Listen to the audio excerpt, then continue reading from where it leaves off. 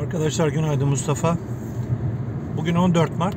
Sabah saat tahmini 8.50 saatin ayarını biraz ileri aldım geri kalıyor diye. Değil ki 8.55. Ee, Bugün 40 bin bakımını yaptırmak üzere fiyat servisine gidiyorum. Ee, Arabada bir koku var böyle benzin kokusuna benziyor. Hem de onu da söyleyeceğim bir.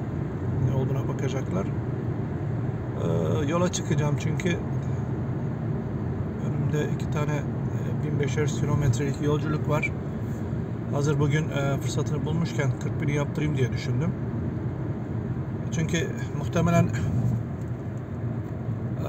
1000-2000 kilometre sonra yağ uyarısı gelecek. Ondan sonra ben huzur, huzursuz olacağım. Ondan sonra randevu almam gerekecek. Bu yüzden bu işi bugün yaptırayım diye düşündüm. E, arabanın kilometresi şu anda 39.267 39.300'deyim. 700 kilometre önceden yaptırmış olacağız. Ben bir e, 4-5 bin lira arasında bir fatura bekliyorum. E, çünkü bu bakımda şey var, bujiler değişecek ve bir bujinin tanesi zannederim KDV'siyle 500-600 lira falan tutuyor. İşte servislerdeki fiyatları biliyorsunuz. Malum.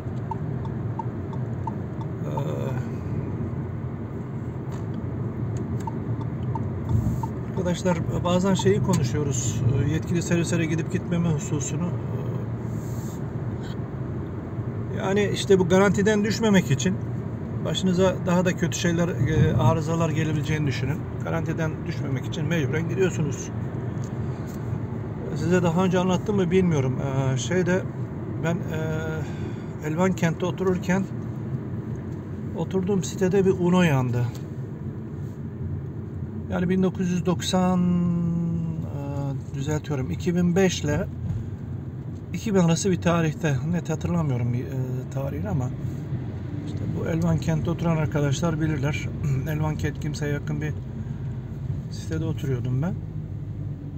Neyse e, Allah'tan adamın arabayı yetkili servise götüreceği ve yetkili servise götüreceği tutmuş. Bir şekilde yetkili servis e, hatasını kabul etti ya da ona yıkıldı olay. Fatura sayesinde. Ya da e, şey bir servis de olabilir. Böyle hani ciddi servisler var ya yetkili servise yakın kalitede iş yapan. Öyle bir yerde olabilir ama sanki yetkili servis gibi kaldı aklımda. Adamın arabasını yaptılar ya da bir şeyler edip tazmin etti. Öyle hatırlıyorum ben.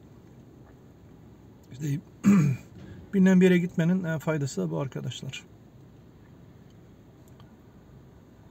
Ankara'dan Antalya'ya geldiğimden e, bu yana video yapmayı planlıyordum ama olmadı. Ee, olmadık bir yerde zamanda benzin aldım. Benzin alınca e, program değişti tabi. Neyse Ankara'ya geleceğim önümüzdeki haftalardan birinde. Önümüzdeki bir hafta içinde o zaman yeni video yaparım diye düşünüyorum. Durum arkadaşlar. Akşam tekrar size bir video göndereceğim. Bakalım fatura ne çıkmış. Ee, neler var göreceğiz arkadaşlar. Kendinize iyi bakın. Hoşçakalın arkadaşlar.